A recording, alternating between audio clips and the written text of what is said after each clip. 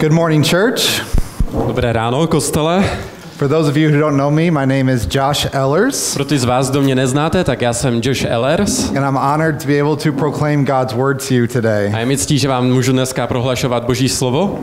Last Sunday marked my family's one year anniversary living in the Czech Republic. A minulý týden my jsme měli s manželkou také první výročí toho, co žijeme tady v Česku. We moved here from America, from the state of Kentucky, Přestěhovali jsme se z Ameriky, ze státu Kentucky. home of bourbon whiskey and Kentucky fried chicken. A Kentucky je domovem bourbon whisky a taky KFCčka. We have loved being here at Kosteljinak. A m- máme rádi to, že jsme tady na kostele. You guys have welcomed us with open arms. A vy jste nás totiž přivítali s otevřenou náručí. We are glad to be at a church that preaches God's word so faithfully and also a church that seeks to love the lost. A jsme rádi, že můžeme být součástí církve, která káže věrně Boží slovo a která zároveň usiluje o to, aby byli zasaženi i nevěřící, i ztracení. There's also another reason why I love living in the Czech Republic. A je tady taky další důvod, proč, mám, proč jsem rád, že žiju v Česku. In the summer, there's at least six ice cream shops open downtown Schumberg. A tady v Šumberku je totiž během léta otevřených asi tak šest stánků se zmrzlinou. And when I park near Piccola and walk to the church, A když zaparkuju poblíž Pikoly a jdu na kostel, I pass all of them. tak jdu kolem všech tady těch stánků. And I promise you, one of these days I'm going to buy ice cream at every single one of them. A dávám vám slib, že jednou uh, se zastavím u každého stánku a koupím si tam zmrzlinu. And if you want to do that with me, find me after church and we'll talk about when we can go together. A pokud byste to chtěli provést se mnou, tak mě řekněte po skončení dneska a domluvíme se. Also, whenever we bring uh, our three kids to Schumberg, A taky kdykoliv uh, jdeme s, s, s našimi třemi dětmi skrz Šumperk, it's impossible to go downtown without getting ice cream. tak není možné jít uh, přes město a nekoupit si zmrzlinu s něma. And my four year old son, Jonashek, A můj syn Jonášek, který mu jsou čtyři, will finish his ice cream cone before I even pretty much start mine and then beg me to give him mine. tak on uh, vždycky sní tu svoji zmrzlinu dřív, než já vůbec začnu jíst tu svoji. Those of you with kids understand this dilemma. A potom chce jíst tu moji, kterou já jsem sotva začal jíst. A ti, kdo máte děti, tak znáte toto dilema.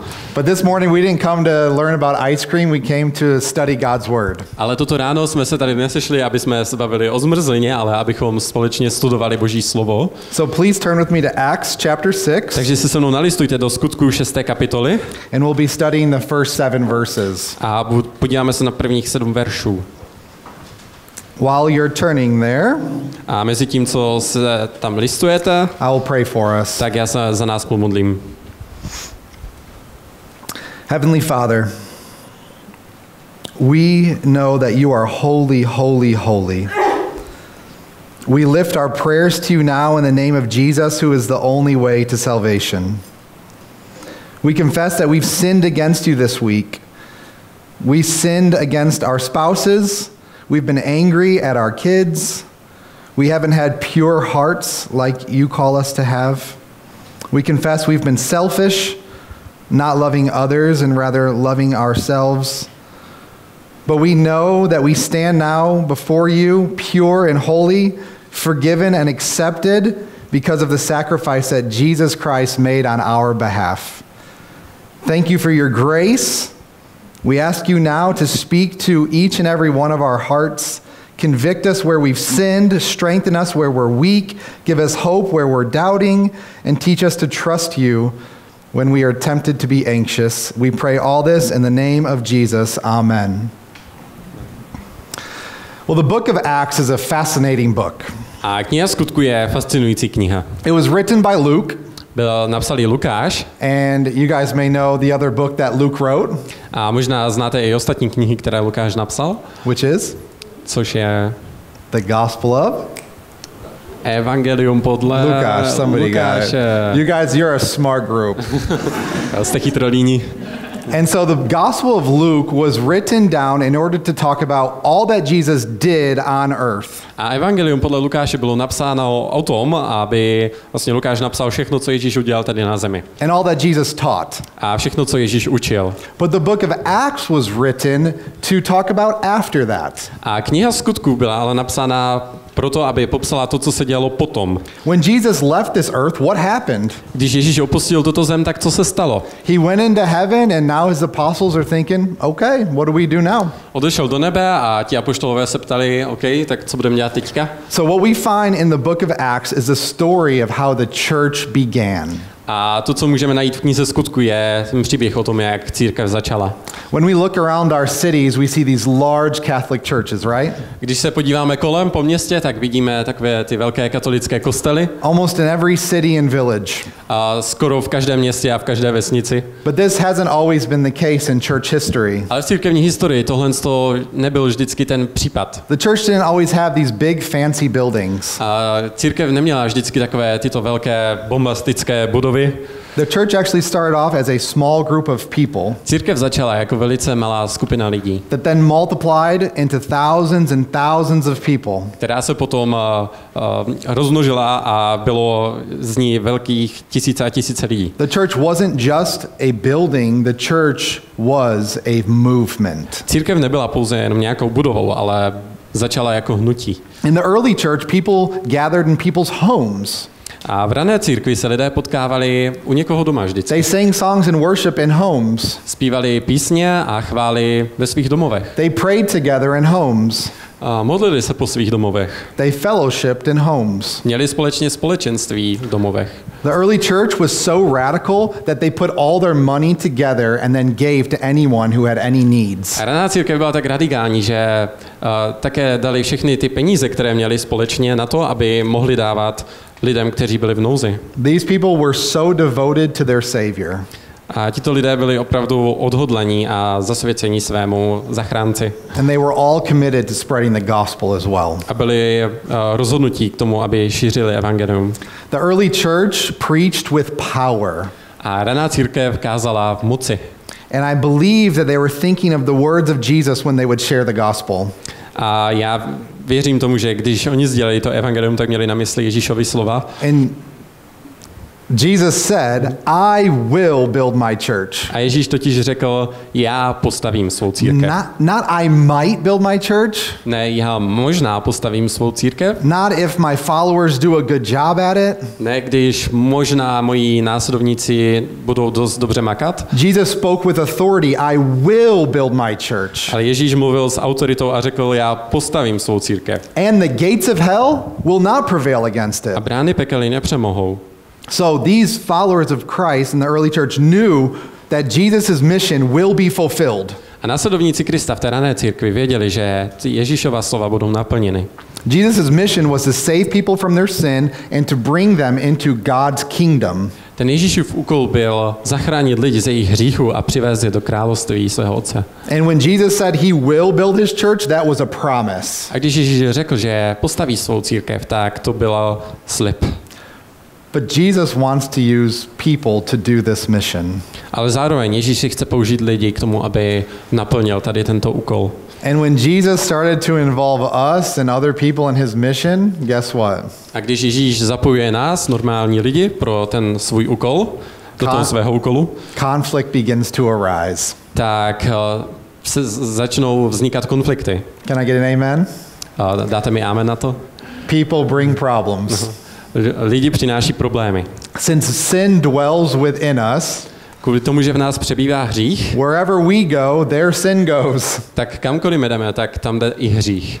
Coastal Enoch does not claim to be a perfect church, Kostel jinak o sobě netvrdí, že je dokonalou církví and neither is any other church in the Czech Republic. a stejně tak žádná jiná církev v České republice. We find the same situation in Acts chapter 6. A stejnou situaci najdeme i ve skutcích v té šesté kapitole. The early church here wasn't perfect, and there was a problem that arose. Ta raná církev nebyla dokonalá a vznikl tam problém. I want us to notice today how sin seeks to destroy God's mission. A chtěl bych, abyste viděli, jak dneska, jak ten hřích se snaží rozbít tu uh, Ježíšovu, uh, Ježíšu, ten Ježíšův úkol. If you are a uh, note taker, this is the main point today. Sin seeks to destroy God's mission. A pokud si píšete poznámky, tak toto bude hlavní bod ze dneška a ten je, že hřích se snaží narušit boží uh, misi.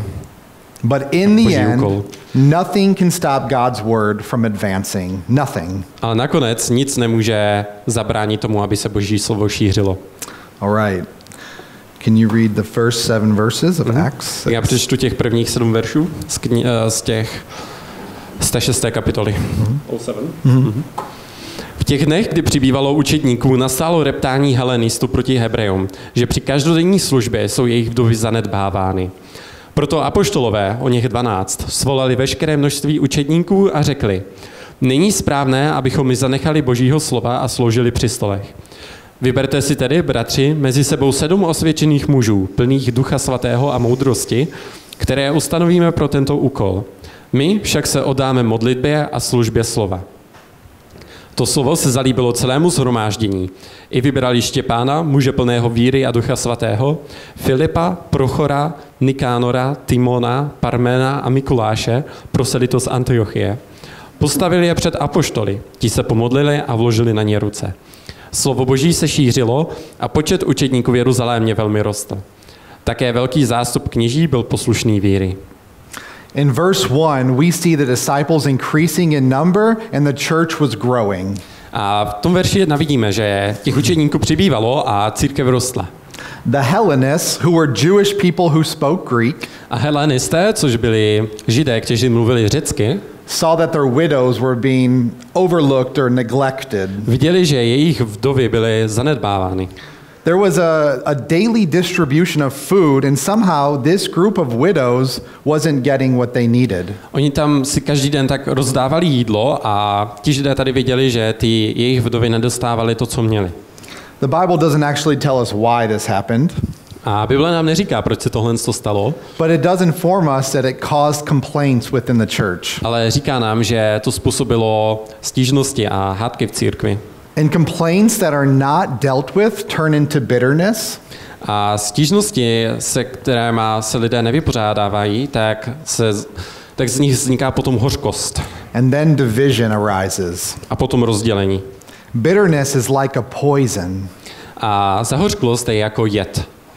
It's in our hearts and it just slowly corrodes us and it ruins every part of us. Je to v našem srdci a pomalu nás to tak uh, rozleptává, než nás to úplně zničí.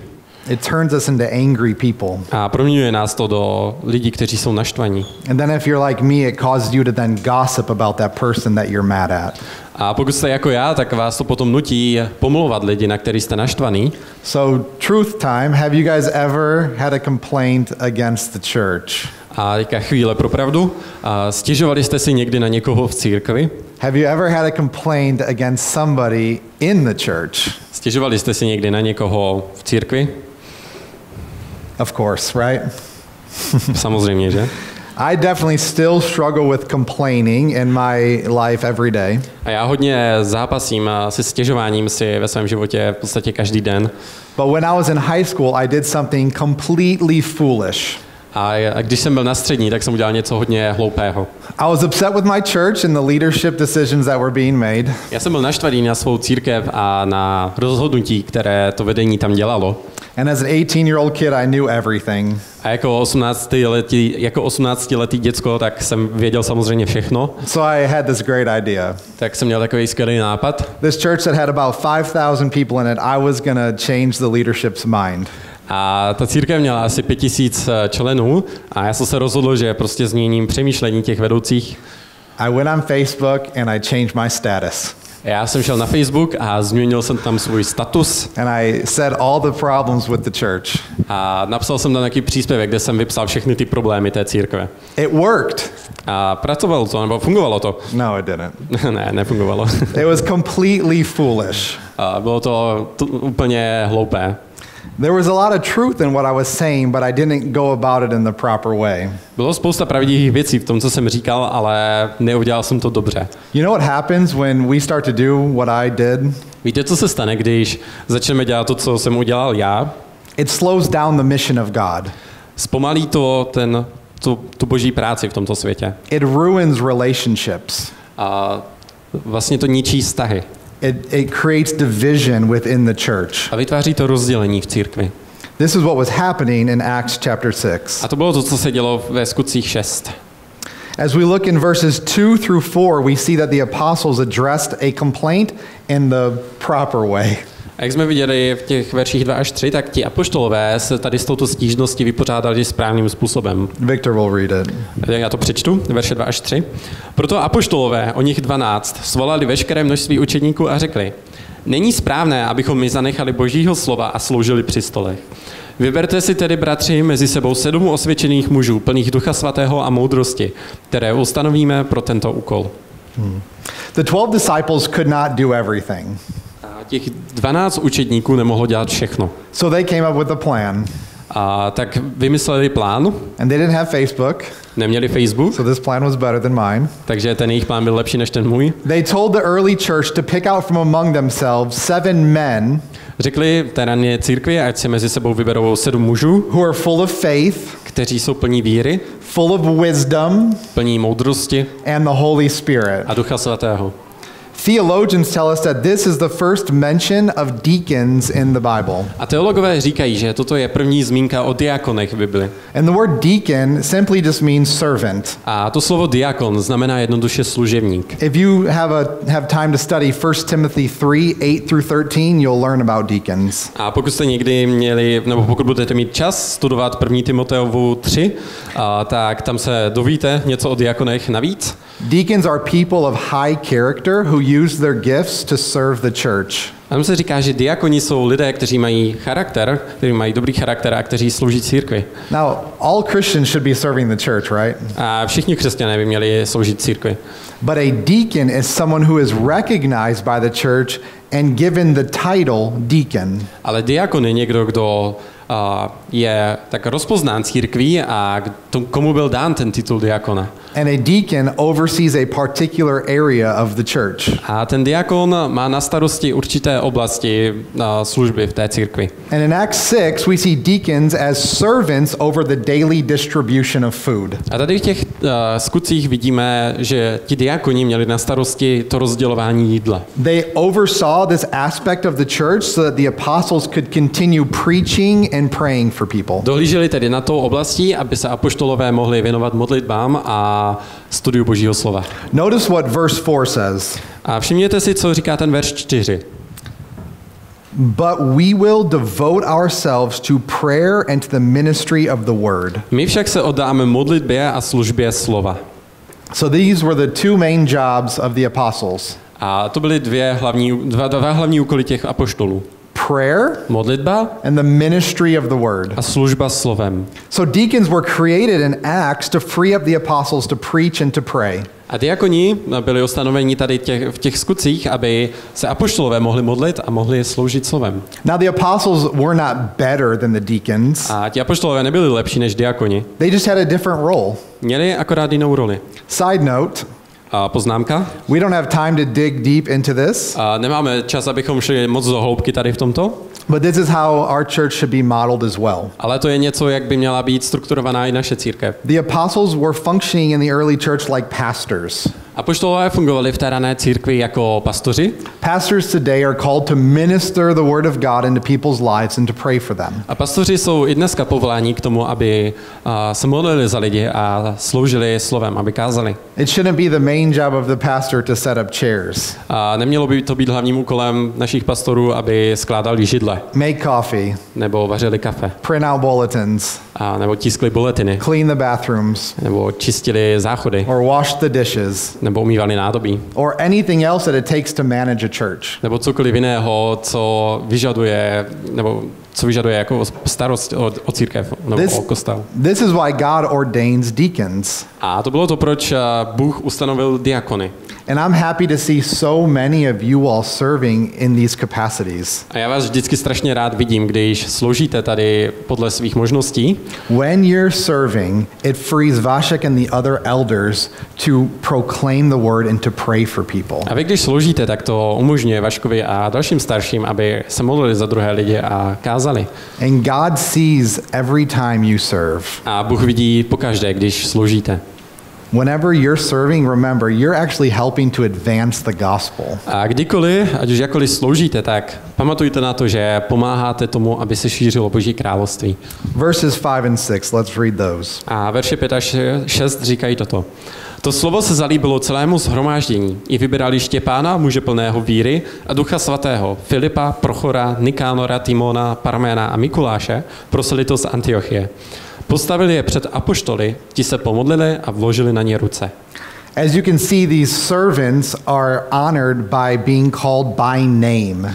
A jak vidíte tady, tak ti služebníci byli tak poctěni tím, protože uh, jsou tady vypsáni svými jmény. The church brought them together and they laid hands on them and they prayed over them. Církev je tak postavila dohromady a modlili se za ně a vložili na ně ruce.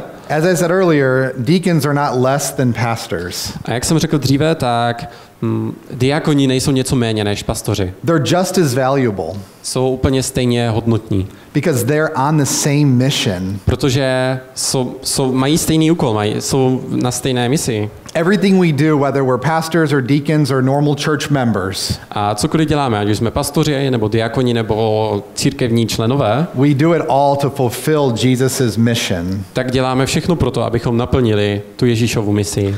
But this passage tells us that deacons were honored by the church and set apart to oversee a particular area of the church. Ale tato pasáž nám říká, že ti diakoni tady byli ustanoveni, aby jim měli na starost tu určitou oblast v té církvi. And God recognizes them. A Bůh je za to jako tak nějak o, pochválil. If you ever feel like your service in this church goes unnoticed, A pokud si někdy myslíte, že vaše služba v této církvi, že si ji nikdo nevšimne, never forget that God sees everything that you do. tak nikdy nezapomeňte na to, že Bůh si toho všimne vždycky. He sees when you're preparing to lead worship on, on Sundays. Bůh vidí, když trénujete na to, abyste vedli chvály ráno, tedy v neděli. He sees when you're washing dishes after church is over. A on vidí, když umýváte nádobí, když skončí neděle. He sees when you're bending over with that hurt back and picking up toys in the kids' room. A on vidí, když sbíráte hračky, přestože vás bolí záda, když sbíráte hračky tam v té dětské místnosti. Whenever you do something in secret, your heavenly Father sees you and he's pleased with you. A cokoliv děláte tak v skrytu, tak váš nebeský otec to vidí a dělá mu to radost. Let's turn to the last verse in, chap, uh, in verse 7. A přečteme ten poslední verš uh, sedmý. Slovo Boží se šířilo a počet učedníků v Jeruzalémě velmi rostl. Také velký zástup kněží byl poslušný víry. Throughout the book of Acts, we see this phrase, and the word of God continued to increase. A skrze tu knihu s- skutků vidíme tady tu frázi, že slovo Boží se šířilo. We see it in Acts 2, verse 41, Vidíme to ve skutcích 2.41, 2, verse 46 and 47, a ve skutcích 2.46 až 47, 4, verse 4, a skutky 4.4, 5, verse 14, skutky 5.14, 6, verse 7, 6.7, 12, verse 24, 12.24, 19, verse 20. 19.20. So the book of Acts was written to describe the advancement of God's kingdom. A ta kniha skutku byla napsána, aby popsala, jak se to boží eh, království a slovo šířilo. In verse 7, we even see that many Jewish priests trusted in Jesus as their Messiah. A ve verši 7 dokonce vidíme, že velký zástup kněží, těch židovských kněží, byl poslušný víry a následovali Mesiáše. This was a huge deal for these priests to start following Jesus. A to byla docela velká věc pro tady tyto kněží, aby se rozhodli následovat Ježíše. Jewish priests were totally devoted and they have given their lives to God. Protože ti židovští kněží byli totálně odhodlaní a dali celý svůj život Bohu. The God of Israel. A Bohu Izraele. They followed strict laws. A poslouchali přísný zákon They believed firmly in a way of life a pevně věřili v určitý způsob života. and had strong convictions about what everyone needs to believe in. A měli n- silné přesvědčení o tom, čemu by lidé měli věřit. But when they heard the good news of Jesus, everything changed for them. Ale když slyšeli tu dobrou zprávu o Ježíši, tak se pro ně všechno změnilo. Has the good news changed everything about you? A změnila dobrá zpráva o Ježíši všechno ve tvém životě? Some of you here may say, well, wh- what is the good news? What, why would it change me? A možná byste se tady zeptali, jako co je ta dobrá zpráva a proč by mě to mělo změnit. So here's the good news A tak tady je ta dobrá zpráva. Jesus Christ was sent to earth on a rescue mission. A Ježíš Kristus byl totiž poslaný na zemi a na takovou záchrannou misi. His Father in heaven sent him to this earth to live a perfect life. Jeho nebeský otec ho poslal sem na zem, aby žil dokonalý život. Jesus never disobeyed his parents. A Ježíš nikdy ne, ne, neuposlechl své rodiče. He never lusted after a man or a woman. A nikdy neměl chtíč vůči druhé ženě nebo druhému muži. He was never greedy, wanting more. He was always content. Nikdy nebyl chamtivý a nechtěl víc, než měl, ale byl spokojený. He always served others instead of thinking about himself. Vždycky sloužil druhým, namísto toho, aby přemýšlel o sobě. And he was perfect so that he could die as the perfect lamb in our place. On byl dokonalý, aby mohl zemřít jako ten dokonalý beránek na našem místě. Throughout his life, he healed people with many sicknesses and cast out demons. Během svého života léčil spoustu ži- lidí s různými nemocemi a vyháněl také démony. And he did this to show all of us that the kingdom of God that is to come doesn't have sickness in it. A udělal to proto, aby nám ukázal, že to království, které má přijít, to boží království, nemá, eh, nebo v něm není žádná nemoc. It doesn't have pain. Není v něm žádná bolest. It doesn't have demons. Nejsou v něm žádní démoni. It doesn't have death. Není v něm žádná smrt. So Jesus preached the kingdom of God that is to come and he showed people it through miracles. Ježíš kázal o tom království, které má přijít a ukazoval lidem, jaké to bude skrze jeho zázraky. And then one of his best friends betrayed him. A potom ho zradil jeden z jeho nejlepších přítelů, And his name was Judas. přátelů a jeho jméno bylo Jidáš. There's a reason why the number one name in Czech to name babies is Jakub, not Judas. Je tu důvod pro to, proč to nejčastější jméno v České republice je Jakub a ne Jidáš. The religious leaders of Jesus' time then put chains around his ankles and chains on his wrists and dragged him before the Roman courtroom. A náboženští vůdcové v té době tom Ježíše tak zatkli a dali mu okovy na ruce i na nohy a přivedli ho před soud. And after Jesus was whipped and beat and blood was everywhere, A Ježí, Ježíše bičovali a mm, zmrskali a zbyli, tak, tak ho odvedli he was then sentenced to death on a cross. a byl odsouzen ke smrti na kříži. The worst way of dying in, in his time. A to byl eh, taky nejhorší způsob, jak zemřít v té době. He hung naked on a cross and eventually suffocated. Oni ho pověsili na, na ten kříž nahého, až se tam nakonec udusil. The interesting thing is, the Bible tells us this was God's plan all along. A zajímavá věc je ta, že Bible říká, že toto byl boží plán o, od začátku. It was in order for Jesus to take the punishment for the sins of the world. A bylo to proto, aby Ježíš mohl odnést mm, ten soud a trest, který jsme si lidé zasloužili kvůli našim hříchům. My sin, A aby Ježíš odnesl můj hřích, your sin, tvůj hřích and the sins of all who would believe all over the world. a hříchy všech, kteří tuto zprávu uvěří po celém God, světě. God in heaven then rose his son from the dead on the third day. A Bůh potom z nebe vzkříšil svého syna Ježíše z mrtvých. And this was to vindicate Jesus, to, to show that everything he said was true. A to bylo proto, aby Ježíš je tak ospravedlnil, aby Bůh ukázal, že všechno, co Ježíš řekl, byla pravda. And Jesus left our sin and he left death in the grave and he rose victorious. A Ježíš nechal ten náš hřích a smrt v hrobě a byl skříšen jako vítěz. He miraculously just walked out of the grave. A on zázračně vystoupil z toho hrobu. He appeared to over 400 people saying, I'm alive. Zjevil se více jak 400 lidem a řekl jim, že je naživu. And he said, If you put your trust in me, I will wash away all of your sins and I will welcome you into my Father's kingdom. A řekl jim, pokud uvěříte ve mě, tak já smiju všechny vaše hříchy a přivítám vás v království svého otce. Simply by trusting in Jesus can we become reconciled with God. A s Bohem můžeme být smíření jednoduše skrze víru v Ježíše. Our sin can be forgiven. Naše hříchy mohou být We can odpuštěny. begin a relationship with our Creator. Můžeme navázat vztah s naším stvořitelem. And we know that when we die, A víme, že když zemřeme, we have the hope of a kingdom tak máme naději tady na to království, that's been prepared for us. které bylo pro nás připravené. So, church, we don't have to fear death. Takže kostele, my se nemusíme bát smrti. This is the good news. A to je dobrá zpráva. You can't earn it and you cannot purchase it with money. Nemůžete si to zasloužit, nemůžete si to ani koupit za peníze. You can't even bribe God by being a good person. A nemůžete ani oplatit Boha tím, že budete dobrým člověkem. It's a present that God has prepared and He's just given it to you to unwrap. Je to dar, který nám Bůh dává, aby jsme jej rozbalili. All glory goes to Jesus for saving wicked people like me. A všechna sláva potom patří Ježíši, že zachránil takového říšného člověka, jako jsem já. So I have to ask do you believe in Jesus? Takže se tě musím zeptat, věříš v Ježíše? Has this message changed your life? Změnila ti tato zpráva celý tvůj život? I hope you can find someone this week that you trust and, and tell them why you're not fully following Jesus. Fully following. A já bych chtěl, aby si tento týden se s někým o tom pobavil a třeba mu i řekl, proč třeba naplno nejdeš za Ježíšem.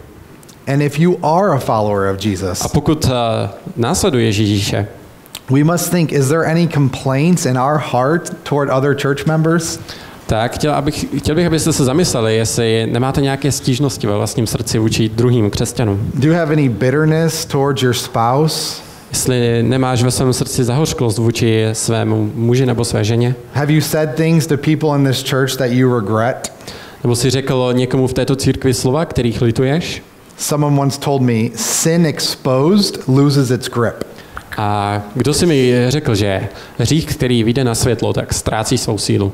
If we hide our sin, it only just gets worse. Pokud svůj hřích skrýváme, tak se stává jenom horším. But once it's out in the open, once we confess it, the power is gone. Ale jakmile to je venku, jakmile svůj hřích vyznáme, tak ta síla toho hříchu mizí. Whenever Marie and I apologize to one another, it's like a huge weight just lifted off me and I can smile again. A kdy, kdykoliv eh, se já omluvím své ženě Marii, nebo ona mě, tak je to jako kdyby z nás vždycky spadla taková těžká tíha. So your cha- the challenge this week is to go to that person and confess your sin and humble yourself. A chtěl bych, aby to pro vás byla taková výzva tento týden, abyste zašli za druhým člověkem a vyznali mu svůj hřích a pokořili se před ním. And if it's hard to humble yourself, think about Jesus. He humbled himself for you so that you can be forgiven. A pokud je pro tebe těžké se pokořit, tak přemýšlej o Ježíši, jak to muselo být, eh, jak je, to muselo být těžké pro něho se pokořit a zemřít za tebe. So think of Jesus and then go to that person. I know it's not easy. Tak přemýšlej o Ježíši a potom jdi za tím člověkem. A já vím, že to není jednoduché. Well, let's conclude with verse 7. A pojďme to zakončit tím veršem sedmým. There's a phrase, the, the first phrase says, and the word of God continued to increase, A ta první část říká, že to slovo Boží se šířilo. And the number of the disciples multiplied. A počet učedníků v Jeruzalémě velmi rostl. Therefore, the multiplication of the disciples in the Czech Republic A tak proto, ta, aby se, eh, aby rostl počet učedníků v České republice, will depend on the growth of the word of God. tak to bude záležet na růstu Božího slova. So, how can we be personally spreading the word of God? A jak můžeme každý z nás tak nějak osobně eh, šířit to Boží slovo? Sometimes churches try to come up with these big events or these big retreats to draw a bunch of people there to share the gospel. A církve někdy vymýšlejí takové velké akce, na kterých pozvou spoustu lidí, aby jim řekli evangelium.